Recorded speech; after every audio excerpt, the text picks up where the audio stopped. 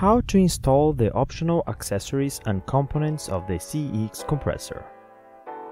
Personal protective equipment. Safety helmet. Protective glasses. Protective gloves. Safety shoes. Attention! Keep and read the instructions manual carefully and always respect the safety warning indicated. Attention! This video shows a CX0 compressor. How to replace the crankcase heater. Tools Small slotted screwdriver 32mm fixed range Attention! The crankcase heater is located in its own housing, separate from the compressor body. For this reason, it is not necessary to drain the oil from the compressor and depressurize it or recover refrigerant gas when it needs to be replaced. Using a small slotted screwdriver, remove the connector and, with a 32 mm fixed range, remove the crankcase heater.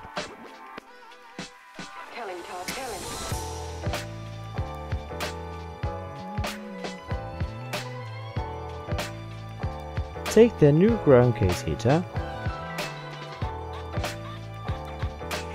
and insert it in place of the one previously removed.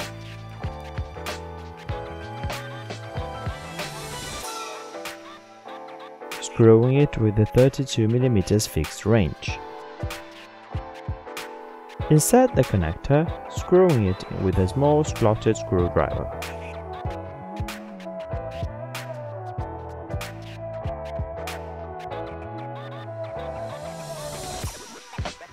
Economizer installation. Tools. 14mm fixed range. Screw gun or ratchet. 8mm Allen socket Torque wrench Oil for gasket. Attention!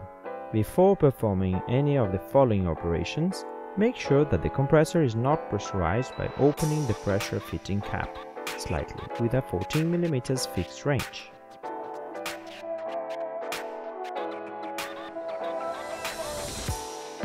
Purchase the special economizer kit and check that it contains valve with fixing screws, silencer, gaskets.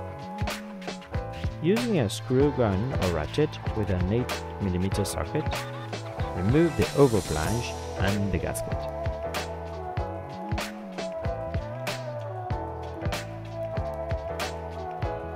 Take the silencer and insert the gasket after applying a light coat of oil. Insert the silencer into the compressor. Take the valve and position the relative gasket, applying a light coat of oil. Insert the two screws contained in the kit and install it on top of the silencer, facing upwards. Pre-tighten the screws evenly and then finish tightening them using a screw gun or ratchet with an 8mm socket. Finish tightening with a torque wrench set to 50 Nm.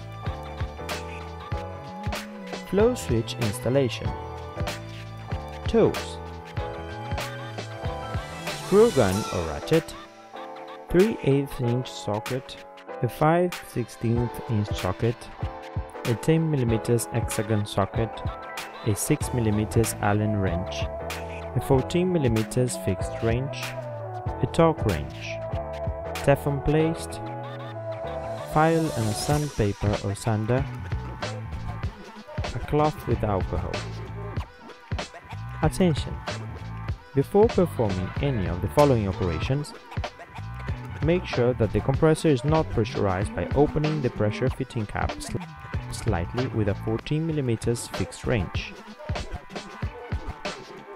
Take a screw gun or a ratchet with a 3 8 wrench and remove the two caps at both ends, in the area where the flow switch is to be installed. Before proceeding with the next steps, remove any oil residues from the surface. At this point, remove all the paint around the holes present, using a file with sandpaper or sander. Take care not to get any paint residues inside the compressor. This operation is essential to ensure the excellent seal of the gaskets. When finished, carefully wipe the surface with a cloth and some alcohol. Then also remove the central cap using a screw gun with a 5 16 wrench. Take the flow switch kit and check that it contains two spacers, flow switch, 8 fixing screws, electrical connector, 4 O-rings, 1 grub screw to interrupt the oil flow. Proceed with the installation of this flow switch. First of all, take the grub screw to interrupt the oil flow and screw it into the central hole using a 6mm Allen wrench. With a torque wrench, check that the tightening torque is between 15 and 20 Nm. Take the closing cap, apply some Teflon paste on the first threads of the fitting and screw it into the grub screw using a ratchet with a 5 16 socket. Take the flow switch and check the installation direction. As shown in the label, remove the two protective caps and insert the 8 screws into the holes.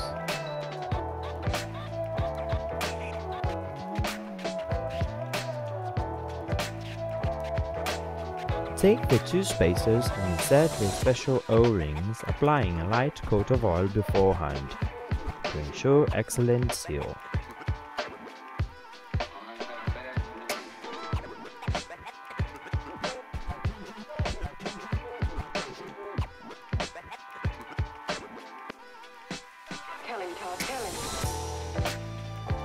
Insert the two spaces on the previously positioned screws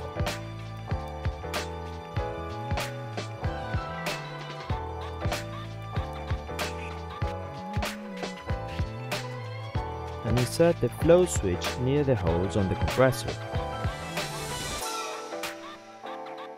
Screwing it by hand to start fastening it. Finish tightening it using a ratchet with a 10mm hexagon socket, screwing everything in the same direction and then check that it's tightened correctly, using a torque wrench, first set to 7 Nm and then to 14 Nm.